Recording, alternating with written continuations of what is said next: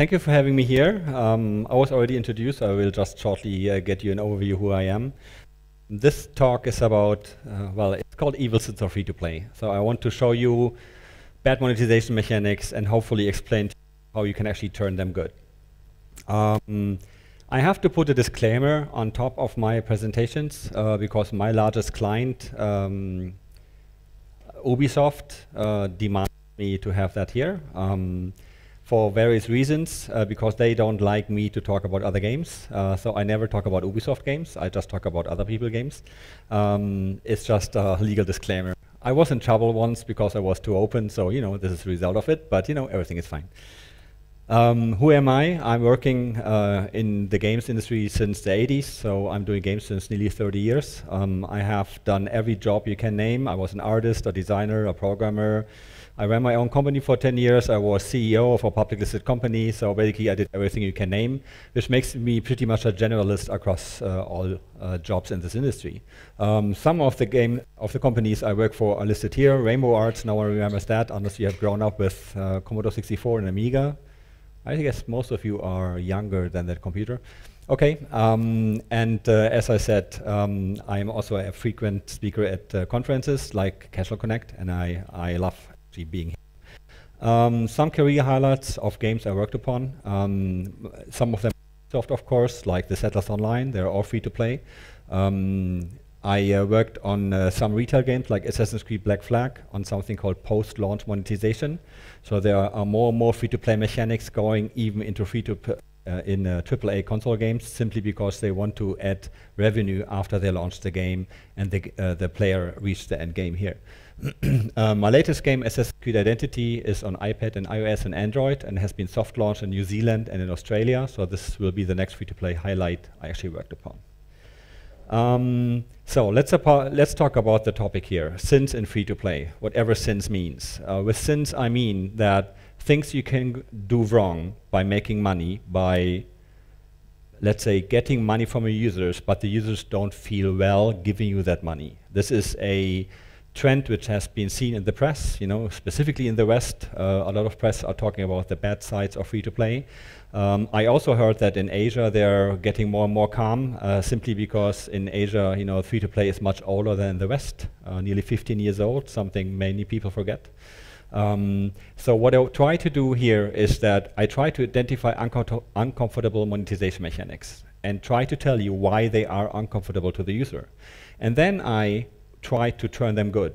So the same mechanics, we just twist them a little bit so the user feels better spending money and giving you the revenue you need to actually run your services. And the, the first one I want to add is the so-called fortune wheel. It's very popular in many games, specifically, you know, the strategy games like Age of Fire and many other RPGs have this fortune wheel. It's basically just a random lottery ticket. And you get one free item per day or per couple of hours. You know, you just turn the wheel and you get something. Of course, there's one sexy item on the wheel you always want to have, and you can spend money to actually turn the wheel again. Um, why is this evil? Um, it is evil because the user doesn't get what he wants. Usually, the user gets crap in return.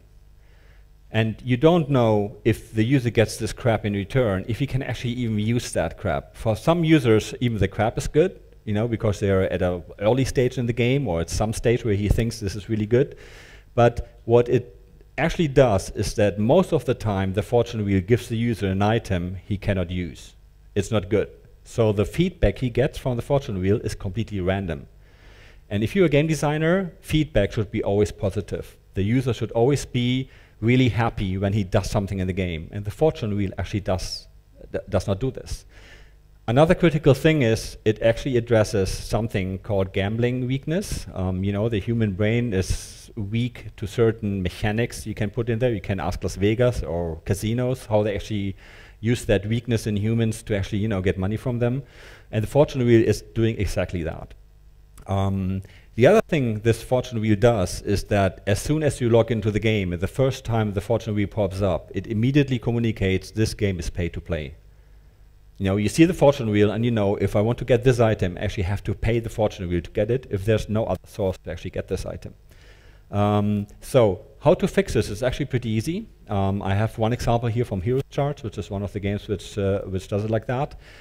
You have to integrate the fortune wheel into the game world. So in this game, there's actually a trader in the world itself. You can click the trader, he opens his bag, and he shows you six random items.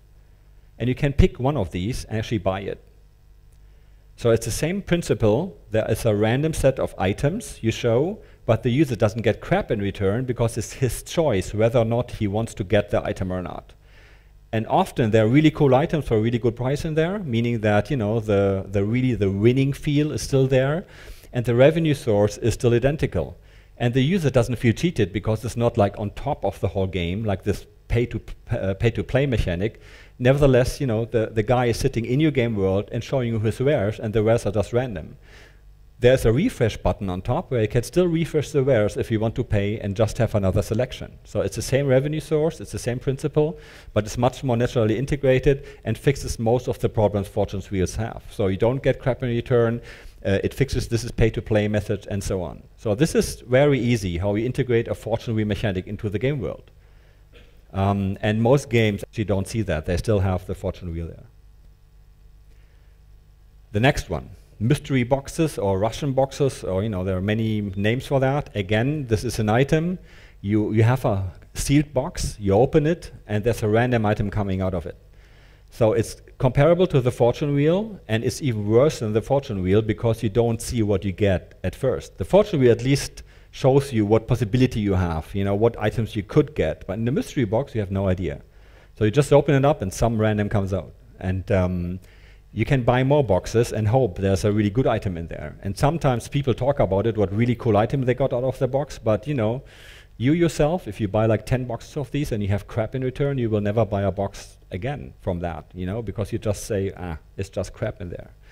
Um, so again in here, purely random rewards is random feedback. Random feedback is really bad for game design. You know, you should have absolute control over positive and negative feedback in your game it doesn't address all payer types. This needs a little bit explanation. Um, when people spend for a game, uh, they spend it for a certain purpose. There is a certain player who loves power items. There's a certain player who loves cosmetic items. There's a certain player who loves acceleration in time, meaning that they love to accelerate progress. You know, there are various payer types, and they prefer certain items to actually help them in the game. Um, and a mystery box does not support any of these. It's just purely random coming out of that. But if you want to optimize your optimization, you have to have items for any payer type in your game. And if you leave out one payer type, basically you're losing revenue. And the mystery box, you know, is just making chaos out of that strategy because you have no idea what you, you what you give the, the player in itself. Um, it shouldn't pay users who don't get what they want. So if your main um, monetization mechanic is mystery boxes, and if a paying user spend 10, 20, 50 dollars on these boxes and still don't have the item th they want, they might actually stop paying because they are frustrated. They might even stop playing because they think you cheat on them. Um, again, in terms of game design, you know, random um, uh, feedback harms good progression systems. Random rewards hurt good game balancing because imagine there's a player who's just level 10 and he gets this really powerful level 15 item.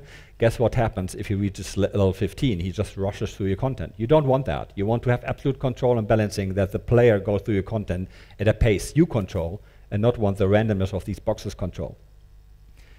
So how to fix this is uh, a little bit uh, more complicated, but still it's easy. Uh, for my strategy, I recommend my clients, you should never use mystery boxes as your main monetization system.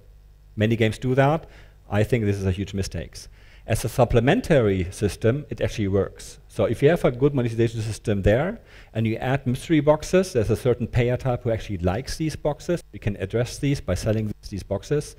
But there should be different ways getting the items inside the box as well. In here, I also add that the box should communicate what's inside, what could be inside, and the chances to get it. So if there is this really rare super item everybody wants, and it says this item, let's say Sword of Power, has a 1% chance to be in this box, everybody who buys the boxes knows what the chances are.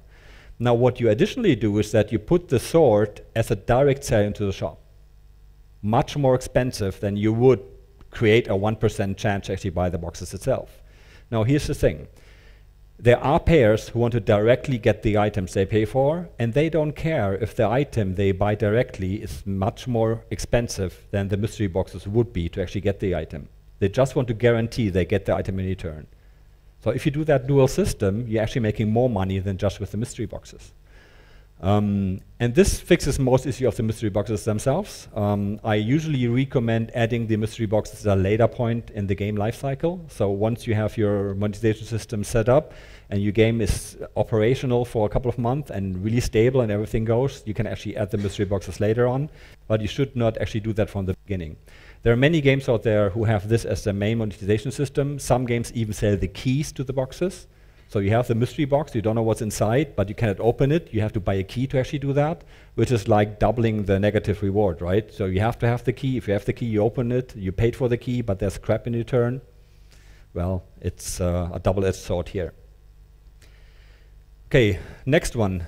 Um, concealing and hiding. Concealing and hiding means that the game is hiding uh, valuable information from the player on purpose.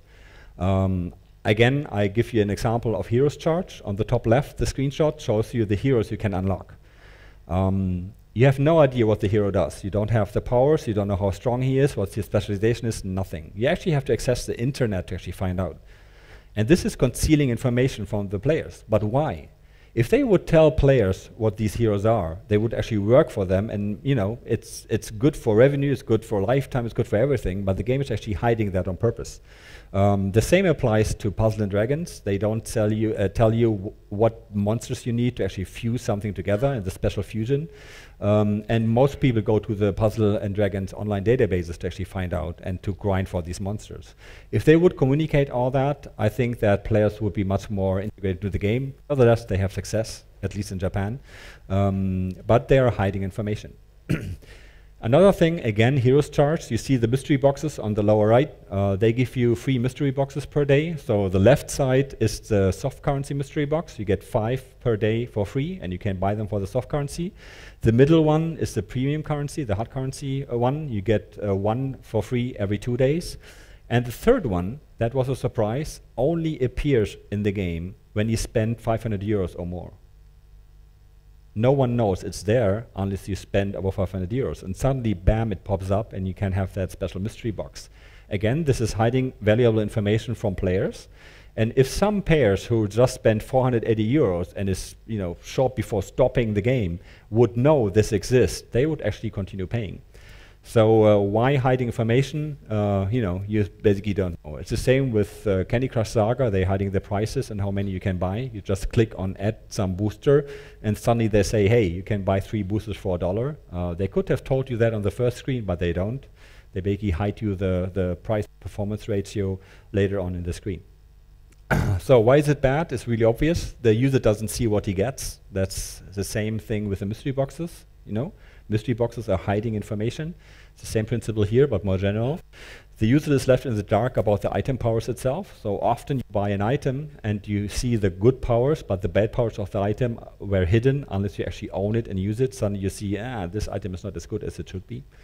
Um, the user might never pay or pay less if he doesn't know. Um, and in the consequence, you know, which is the lower one, is this essentially lying to your users if you hide information. And users are not stupid if you hide information from them and they get the information in an indirect way or when it's too late, they blame you as an operator and not the game itself. And when they start blaming you, you know, they're, they might actually leave the game or not pay as much as they would like. They love you as an operator. So how to fix this is really easy. You know, you usually should reveal all powers of items, even the negative ones. And usually for game balancing, you know, powerful items have a negative side uh, on there as well. Simply tell the users, they're really happy about that. Reveal all consequences of user actions. So when you buy or unlock something and there's a negative side effect, don't surprise the user about that. You should tell him from the start when he does that. And never force the user to do something. Uh, I can give you a really simple example. Uh, many tutorials give the user 10 diamonds and force him to spend the 10 diamonds into the shop, to circle him through the shop experience so he learns where the shop is. But users don't like to be forced to spend hard currency, even if you gifted it to them. You should not do that. Users hate that part of the tutorial. So it's much better to give him the 10 diamonds and then give him a quest. Listen, if you spend this 10 diamonds in the shop, here it is, you get 20 diamonds in return. He can choose not to and keep the 10 diamonds, but he could actually get this and get twice in return. So with that, you have a positive effect because he learned how the shop works. He got twice the reward he actually got, and he's really happy about you because you gave him just 20 diamonds. On the other hand, you didn't force him to do something he didn't like. And this is the same thing, you know, you should never force the user to actually do anything in the, game, you know, it should be like his choice to do that. It's a clear and open information communication, and you should do that in all ends, even if your game breaks down, the servers are down or whatever, you know, you basically say, listen, servers are down uh, because, you know, we broke the firewall. We are really sorry about that. Don't lie to the users, you know, don't shut down the game for two hours because you have to do maintenance and when the game is open up, you just apologize to them, that's too late because they were just offline for two hours. You should tell them in advance or through other, other communication channels how to do that. Um, you know, it's part of the don't conceal or hide information from the users. Um, and this is thing which I learned from being really honest to our users. Uh, we even told them when we royally screwed up, like when we really make a really bad mistake, and we said, sorry, we really have this bad thing going on. This is why, this is how we're trying to fix it. It might cause problems for you. We're really sorry about this, but at least we're telling you in advance. Users love you being honest, even if it's bad news. It creates loyalty and lifetime if you do that. That's a strange thing, but you know, users appreciate honesty. Um, and loyal users are better payers than players, of course, that's really obvious. So, something else called parameter change. Parameter change means that a game changes the parameter, any parameter of the game, depending on your behavior. Uh, you see from the screenshot which company actually did this in Extreme, which is called Zynga and you actually see where Zynga is now. No one talks about them anymore. They're no longer sexy. Maybe this is one of the reasons. Uh, you see here that they're offering um, a VIP club offer, which is identical to the right one, to one user for $15, to another user for 25 Guess what the differences between these users were? The left user was a non-paying user, the right user was a paying user. So they knew this user paid, and once you paid, it's easier to convince them to pay more than someone who never paid to convert that guy to a paying user. Because they knew that, they, they generally charged more from paying users than from non-paying users. And, and they got away with it. And this is not something I actually you know, recommend doing. Because the user isn't stupid. He will really realize that, he will talk about it, and he will get, you know, he feels cheated upon. Know, my wife gets the same offer for 10 bucks, you know, why I have to pay 20 bucks? Why is that? Um, no one likes that. You know, every user should be handled equally. Um, the user feels cheated upon, even lied upon, and he blames you as the operator. It's the same thing like before, but on a different context. And the parameter change can be anything, right? Difficulty, progression, rewards. Zynga even lowered the rewards for paying users compared to non-paying users simply because they knew that the paying users have a harder time, and having a harder time means they pay more. That's what they did. And you should not uh, that tactic. So how to fix it is really simple. All users should be handled equally. Just same parameters, same game, you know, just let them go differently through your game progress depending on, the, on their skill. Gameplay should not be different depending on users' behavior. It should not. And this is even more important for paying users because they are paying you salaries. You should not, you know, handle them unequally. And uh, for me personally, and for most users out there, this is a requirement for online games. Uh, online games, most games out there are online now, and people talk to each other. And if you handle them differently, they will know. And as as soon as this news spread, you will have negative feedback and less revenue. So the fix is really easy. Never do this. Be honest. They are your customer. This is like the easiest fix you can have. Don't do that. It's a very um, common thing for pure monetization designers who have nothing in their mind but to raise revenue to actually try this. Most monetization designers who just out there to do revenue will try this and you should stop them doing it because it will cost your users in the long run. And as an example, you can actually see that if a company does a fair business, they're still in business today. And if they don't do fair business, they will end up like Zynga. Retention tricks. Um, this is a really, let's say, a soft evil sin. With retention tricks, I'm meaning things which cost hours, days, or weeks to complete or to gain. Like here, we have a daily login bonus. uh, the login bonus actually is a evil mechanic. You will now think I'm crazy, but I'm not. I will explain in a second. There's another one, which is the gold chest from Heroes Charge. It tells you that this free chest you can get in 43 hours, 46 minutes, and 7 seconds. You get one for free. What happens to a user who wants to optimize his rewards in a game when he sees this? He will set his alarm to exactly this time and wake up whatever time it is per day. This is what happens to power users. They will wake up at 3.30 in the morning just to get this free chest to rerun the timer on the next chest so that they don't miss at least one minute of free time where the timer doesn't run. The same applies to a login bonus. With a login bonus, you're forcing a user to log in every single day to maximize his rewards.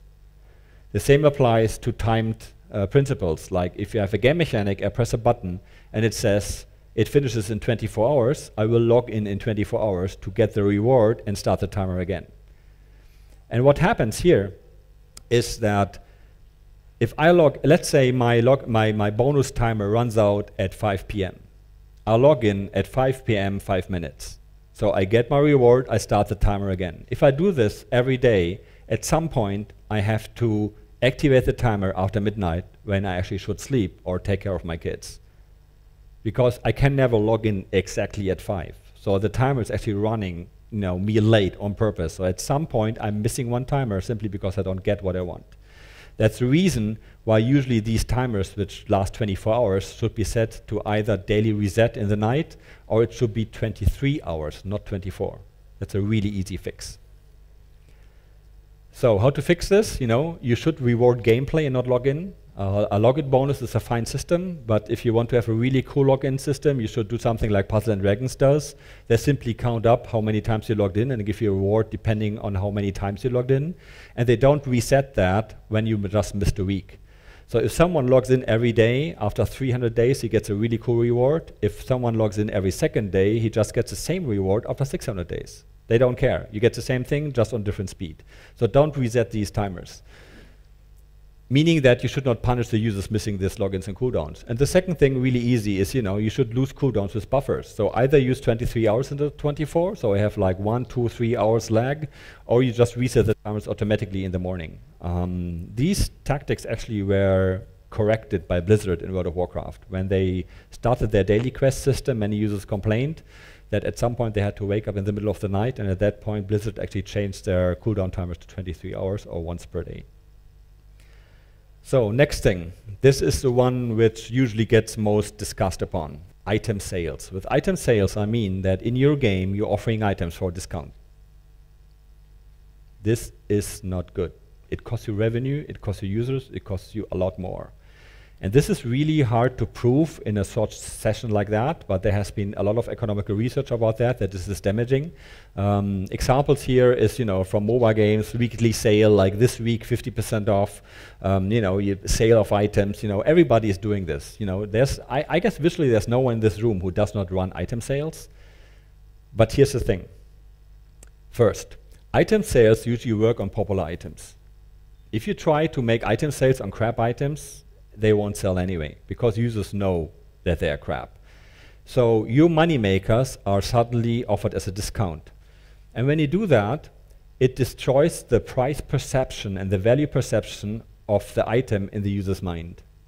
If there's an item for $50 and suddenly it's for $20 available, I will pay for that item $20 because it's a sale, it's a deal, your revenue will spike, but that user will never buy the item for $50 again because they know at some point you will run a sale again. And that destroys long-term revenue and lifetime in your game. It's proven by economists. You know, there are a lot. You can Google that. It's uh, it's easy research. Uh, where does that? Uh, you can actually you know read about this. So sales destroy the perceived value in the user's mind, and this has been proven. Um, why do sales work in real life? We all have been raised that sales are happening out there in stores. You know, when there's sale on summer cloth, you know, most women go into the cloth store, their favorite ones, and try to grab their favorite summer stuff. If there's sale on LG electronics in some electronics store, you know, you will buy your LG or Samsung TV, you know, at a sale price. We have been risen by sales are there, and we are looking for these discount. Amazon Black Monday, you know, many, many things there. The reason these sales exist are either overstock, they have too many of these left, or competition. So there's a competing item, and the guy who wants to do a sale actually want to throw out the competition out of that sales window. Here's the funny thing though. In your game, there is no such thing as a competition. There is no such thing as an overstock. So there's no reason to run a sale. This you know has to sink in. Whenever you run a sale, your revenue spikes, which is good, right? You say you're all happy. But if you, over years of the operation of your game, analyze what these sales have done to your user base, you will see that it has a negative feedback. And this is something you should carefully look into when you run sales. So in the long term, it will actually reduce revenue. There are many economical experts out there who recommend never to run sales. Never, ever. I'm not really fan of that because sales actually do work in certain um, uh, systems. So how can you actually fix that? It's very simple. You should do sales on the currency but not on items. Leave the item prices in your game like they are. Don't touch them. But the currency usually buy to buy these items, you can run a sale on this. And this does not destroy the perceived value of the items in the user's mind. That's an astonishing thing. So whenever you do a sale, do it on the currency. And the cool thing here is that when you run a sale on a popular item, you're only addressing part of your players, right? Because not everybody is at the stage in the game to actually afford or who needs this item. But if you do a sale on the currency, everybody can enjoy the sale and buy whatever he wants. So, so you will have the revenue spike. But there are certain rules you have to apply if you do sales on currency. They have to be chaotic, not regular. There are certain percentages you should actually use, you know, uh, and not use some others. And there has been research about that internet, internet as well. I can send you the links if you want to. So there are specific rules you have to follow, and if you do that, you don't even destroy the perceived value of the currency itself. Because if you run the currency sales too often, even then regular payers will stop buying currency and only buy when you run the sales. So you have to be careful about that, and there are certain rules how to actually run these that they're more efficient. Um, what you can do also is that instead uh, of running sales, you can actually add free items to the package. It's another funny side effect. If you never run a sale on the currency, but you add items here and there to the packages, the perceived value of the item you give them is not destroyed because he got it for free as a gift from you to the service. And the value of the item they, they assign to the gift is still the one which is in the game itself. So this is another trick you can run where this uh, problem doesn't exist. So, next thing, energy systems is an evil thing. Why is that? Energy systems, classic, everybody knows that. You have an energy bar, and if you do any action, the energy bar depletes, and if it's zero, you have to stop playing until it refreshes. If it's life, like in Candy Crush, or energy, like in so many other games, doesn't matter. Uh, this system has been made popular by Facebook, and the reason it was there, the energy system, is to actually delay the player to enter the end of your game. Because there wasn't enough content to in this game, they, they friction down the player speed by introducing the energy system. So why is it bad? The first thing, it communicates pay to play immediately. Energy bar with a dollar sign or plus sign immediately tells the user, if you want to play as long as you like, you have to pay. And that's bad because you know players want to experiment. They want to see if they like your game or not. So energy system in this is not really good. It limits fun. Players love to experiment. They love to experiment in your game, do whatever they want, not what you want them to do. And an energy system applies a negative feedback to every action they do. Because it costs energy, they say, uh, I don't really want to click this button now. But experimentation is good, right? Experiment is good. So if you're hindering them experimenting, you're limiting their fun because there are players who love to experiment. And energy systems basically cost you exactly that user who loves to experiment. It also communicates your inability to design enough content. That's the truth. Players are not stupid, right? So if you put an energy system on there, you know, they immediately know, okay, this game is so short, they had to put an energy system in there that I actually have to wait in order to play. Um, the other one, which is kind of a side effect, that energy is not optimizable by the user. So there's an energy bar, 100%, and I cannot get the bar to 200% in any way. So it, you dictate the content of the energy bar to the user. I cannot optimize it. Um, and of course, the energy is not naturally integrated into the game world. It's like this artificial bar on top, which sits there, always communicating, you know, don't press this action because it might cost you energy. This is not good. But luckily, there's a really easy fix for all of this. So, how to fix it? First thing is you give the energy into the player's hands. So make the energy a resource, give it to the player, let him produce the resource, and he can use it up. If that resource is at zero, he can no longer do certain actions. Suddenly, the whole thing is reversed. It no longer communicates pay to play, it's really easy, and the player has this feeling of ownership about the energy. It's his, he can spend it, it's suddenly his resource, and he can optimize it. He can increase the production value, he can increase how much energy he has in his in his warehouses, everything. Suddenly the whole energy suddenly becomes a game mechanic and not this bar on top, pay to play. Um, and you know, if you want to have a perfect example here, see Clash of Clans. They have three energies in their system. Everybody talks about resources in Clash of Clans, but for me, it's an energy system. You have that violet stuff, that green stuff, and another stuff, and you're just using them up for certain things, either to build stuff, to attack someone, or to recruit certain things. And it's the same same thing here, right? The energy depletes. If it's zero, you just wait until it produces again. I can optimize that. No one complains about that because it's a natural thing in the game world that it happens. But on the bottom line, this is an energy system. And what's really good, if you give the energy to the player, suddenly you can give many energy systems to the player. Two, three, hundreds.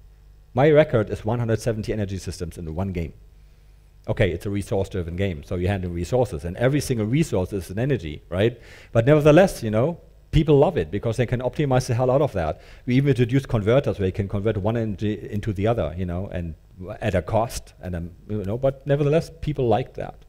So this is really easy to fix. An energy system is a thing Facebook invented. Facebook games are no really profitable anymore. We moved on, so it's time to drop five, six year old game mechanics because you know there are much more modern game mechanics out there. So just look at the games who actually dis, uh, does this without energy systems. The best thing, of course, is running without energy systems at all. But then you have to have a really generic game which actually can cope with players playing 20 hours per day. So the next bad monetization mechanic is steal from the player. Even worse is steal from the payer. Now you say, no game steals from the player, right? Well, you're wrong. I give you one example here. It's a game where you pay, how much is that? 14,000 of your currency to own this weapon for 14 days. It's a rental system. So I pay my money I spend to the game to get this weapon for two weeks, and after that it's gone. Would you pay for this gun? No, you wouldn't. Rental systems don't work. Because it violates this rule, you should never take things away from the player he earned by skill, time, or money. If someone buys an item for real dollars, and, and after two weeks you just remove all these items from the game, all players would actually show you the finger and leave the game. So you don't do that. For you it's natural, but this is the main reason why rental systems don't work. Players want to own things they pay for. And with pay, I don't necessarily mean money. I mean money, skill, or time. So here it is, you know. Items earned belong to the player. Not legally, but in the game itself, this is what they like. If they own, earn something in the game, they like owning it and possess it. They love collecting it.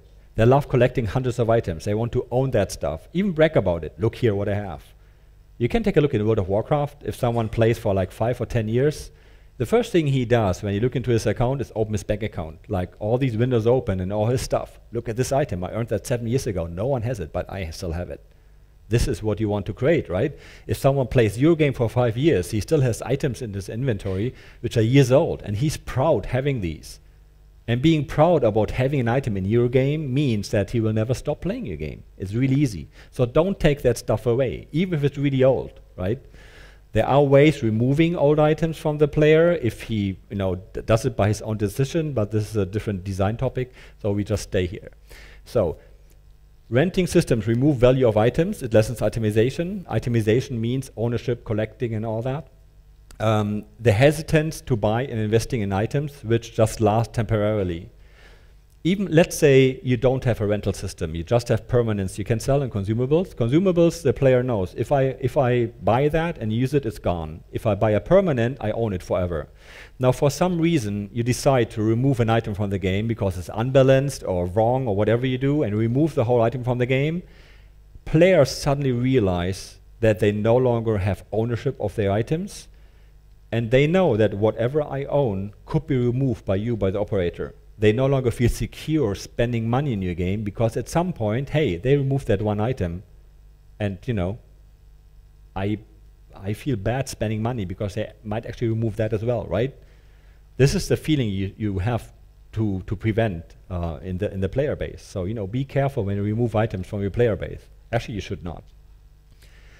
So, and it includes other systems, not only rental systems, but you know, the bad thing is durability systems, rental systems. You know, durability systems are systems where you have a sword and it lasts for a certain time until it breaks and then it's destroyed or you have to repair it. It's the same thing. It, it creates a hesitance to use cool items. Many RPGs, you know, you get this rod of superpower and you know, you would love to use that, but you don't because you want to save the charges for the really cool boss. But guess when the really cool, cool, boss comes in the game? Never. When the player quits the game, he still has this rod unused in his bank. That's not what you want to uh, create, right? So durability systems, again, is the same thing. How to fix it is really easy. Do not use rental systems. They do not work. I have many clients approaching me, specifically clients who want to do free-to-play first-person shooters. Um, don't do rental systems, they simply don't work. Do not use durability systems, there are other systems you can use instead, so they lessen player willingness to actually use these items. Do not take items away from players, never do this, not even seasonal items. If I invested time, skill or money in an item, I own it. Don't take that away. That's really hard sometimes for designers, but you know, there are ways around that. Make permanence permanent and that players feel assured that wh whatever they own, they never lose. So, next one, clickbait. Everybody knows what clickbait is, right? Um, perfect example, King.com still uses clickbaits. Um, clickbaits are the evil form, like, you know, no more lives. Actually, my game ends, I have to wait until the energy system uh, reloads. So energy systems, you know, they could actually replace that. And I can ask friends, Facebook, or I can pay 99 cents for like three lives or one kind of move, so it's really expensive. And the button is green. Everybody presses on the green button because the button to continue for free is actually the, uh, the red X on the top right. That's not a good UI. The UI is designed that people, people by accident clicks on the 99 cent button. Of course, there's still the, the, the, the pay dialog coming after that, so I can cancel. But when they have a dual currency system, and some of these games have that, it actually says 10 gold to continue, which is a bug. And they give you 50 gold in, you know, at the beginning to play with. There's literally no player I have talked to who not accidentally spent 10 by clicking on this button. Most of these people, you know, I see many people nodding here already. M most people actually clicked that by accident clickbait is really bad. It's you know, users hate when they fall for that trap, and guess who they blame? Your company, your UI designers. Why can't you fix this sucky UI? Well, they are not stupid. They know you did it on purpose to actually grind away that free currency or currency in general. But you know, this is what happens. Your UI sucks in the user's mind, so your game sucks. This is what users basically you know go in here. So clickbait should not be used it's obvious an evil mechanic. The user isn't stupid. They know you're doing this just for making money, so you spoil the fun in their game itself. And ultimately, it lessens conversion lifetime because there are some users quitting the game in frustration. Imagine there's a user who just spent five euros in the game or five dollars, and this is like the only money he can spend in the game because he doesn't own more money, right? And he saved his last 10 gold bars he have just for this one level. He knows his hearts, and by accident falls for your clickbait, guess what that user does? He will give up frustration and quit the game forever. You just lost him. And that's something you should not do. So how to fix it is like the easiest one. Do not use clicks, click baits. You should make spending money a good experience and not a bad one. If someone pays for a game, it should be the best experience in the world. It should not be a negative one. And I can give you a lot of examples in the real world how the difference is. Guess why Who has a PC laptop? Hands up. PC laptop, hands up. Okay. Who has a Apple laptop? Hands up. Okay, you know what? Five years ago, if I would have asked this question, there would be one hand who owns an Apple MacBook. Guess why half of you now own Apple and the other ones own PC? It's really easy. Because when you buy a MacBook in an Apple store, it's an awesome experience. If you buy a PC laptop, the experience sucks really bad. This is the difference, right? It doesn't mean the Mac laptop is a better machine, you know? There are really nice PC laptops out there. No, the experience buying one is much, much better. And the same thing you should do in your game. When someone decides to spend money, make it the most awesome experience ever. And, you know, don't try to milk your user out of his money for that. So thank you very much. This is a quick overview of the 10 lessons I gave you. Actually, I cheated. There were 11 lessons if you counted that. So I just added one as a bonus. Um, you can actually watch all my dissecting talks on Casual Connect uh, websites about World of Tanks, Puzzle and Dragons, League of Legends, and the King games. I did four of them uh, for now. And if you would do me a favor, and if you have the chance to test out the latest game I worked upon, which is Assassin's Creed Identity by Ubisoft, out on Android and iOS soon, but soft launch in Australia and New Zealand, I would love your feedback. And here's my contact data. Um, you can ask me any questions you like. Okay, I'm open for questions now, and thank Excellent you for listening. talk by Teut. Uh, now, uh, the floor is open for questions. So does anyone have questions? Yes. Uh, during your talk, you said you made uh, a game that has about 100 over systems or energy systems. Mm -hmm. may we know what's the game name? game name? Which has energy systems. The the one that you had the most energy systems, I think. Uh, the uh, Settlers Online. Sorry? The Settlers Online. Oh, I see. Anno Online has the same. So it's like 150 different resources you use up or do certain things. Yeah. Okay, thank you. Okay. Questions? Um, my, I have a question. Um, what about uh, combining rental with purchase? So, for example, you have a, a very high-powered item, but to allow uh, lower-level people to have a taste of it, you offer them a lower pr price rental, but then there's also a, a, purchasing price where they then own it. Yeah, um, a good idea. Basically, it circumvents the rental problem. But here's the thing: if the item is expensive, users expect it to, to perform really well because that's the reason why it is expensive. So if you need to rent out the item to make the purchase more sexier, then the item is wrong. So an expensive item should be something players really work for, and if they if they buy it, you know, this experience where it's really cool should be worth that money they put into it. If you have to rent out that thing to advertise the item first, you know, you might lose customers who suddenly think, no, that item is not what I expected it to be. Um, and if you have to rent it out to actually make advertising for that, then the item might be priced wrong uh, in, in, the first run. Yeah. Thank you for your speech. Uh, tell me, please, what is the best uh, monetization uh, system, by your opinion? What is better to use it in mobile platforms? There, there's not one good system. Um, there are a lot of bad ones, as you see, but you can turn them good. Um, every game needs a specific monetization system, but there are so many common things every game has to have that you can make a, a, set of rules every game has to follow to monetize really well. I have that set of rules. I actually do that with my customer, with my clients. I have to access to that. And most games who follow that actually are, you know, successful in terms of monetization. But there's not this one best monetization system out there. Um, it doesn't exist. Um, but every game which monetizes well has a progression system. Every single one. Meaning that if you want to make a game which monetizes well, you must have a progression system. So the common thing between all games who are performing really well, all the stuff which all of them have in common, I analyze and put on a rule set. And you can do that yourself if you want to. You know, it's nothing you have to pay me for. Um, it's really easy, and progression system is one of them.